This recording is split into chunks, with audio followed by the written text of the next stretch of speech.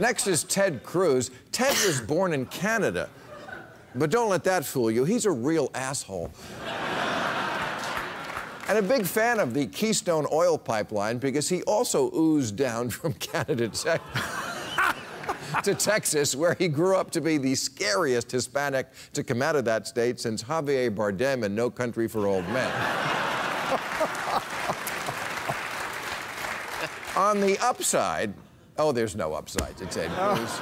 He's what you'd get if Ayn Rand had half a sex change and moved to Waco.